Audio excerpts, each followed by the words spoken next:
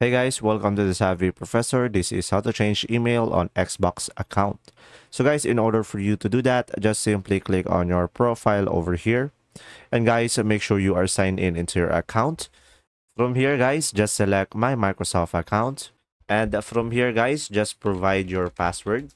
From here guys, just go ahead and go to your info over here. And from here, just go ahead and go over to the account info and go over here edit account info.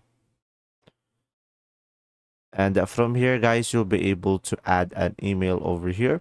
So just simply click on add email. And then from here just provide the new email that you like. And once you have added it just click on add alias. And from here guys you can make it a primary and then from there, you'll be able to change your email on your Xbox account.